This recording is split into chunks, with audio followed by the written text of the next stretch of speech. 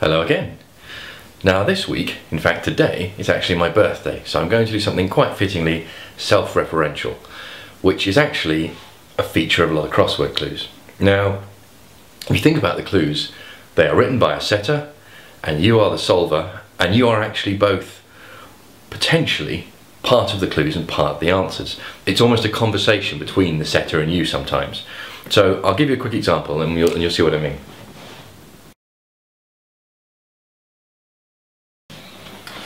One day I'll learn to write on the uh, right width of the board, but setters taken in a short worker perhaps, five letters. Setters taken in a short worker perhaps. Now, perhaps quite often, as I've said before, is a piece of functionality, so you could easily be forgiven for going down that end, looking um, at functionality and looking at the other end for definition. But in fact, this is going to turn out to be your answer, and the principle I want to indicate is all about this. Setters apostrophe S. Now, you could often go on a, you can go thinking about dogs. There's a type of dog called a setter, so you go down that thinking setter is something, so a dog, what's what do dogs do? You can get lost in that avenue for a while. But in this case, the setter is talking to you as themselves. So setters, its possessive is my because the setter is saying my. It's a straight break. Not, we'll deal with the rest of it later, but in this instance the setter is indicating that this, it's simply another way of saying the setters as in my. It's a bit of a tricksy one, but it, it, you'll see it now and again and it's really important to know because otherwise you have no idea what on earth that's doing there. Once you've got that, it's taken in a Short worker, we did the natural world, we did bees and ants as workers. It's a short worker because it's missing its second E, so it's B missing its second E. So setters, my, taken in A, short worker, B, perhaps, maybe, five letters. But that's just an indication of how this is a person writing this clue, talking to you as it were. The other way around doing it is this.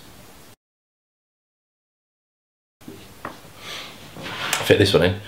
Childlike solver, no good initially. Five letters. Childlike solver, no good initially. Now, if setters is my, or me, in some cases it can be all of those variations. Look out for everything. Setter on its own could be me. Solver is you. This is being written from the setter's point of view. You are the solver. The solver is you. No good initially. N-G, childlike, young. Solver, no good initially. So that is just a five letter word meaning childlike. But this is just to introduce that concept. You are the solver, the setter is me, I, you uh, are the solver, so um, you, your, yours could all be in there. And you just have to know that you have a part to play in the clue sometimes, in the answer as well. You'll see lots of other things I mean, they're, they're, more standard substitutions like I had being abbreviated to I'd. And I will pause, this probably isn't the place to mention this, but I will just say the phrasal clues that we talked about last week that have many words in them. Uh, take an expression like um, standing on your head. You could do that standing on your head. It would not be entered into a crossword clue as your, it would be entered as one's, standing on one's head, because they are always in the dictionary form.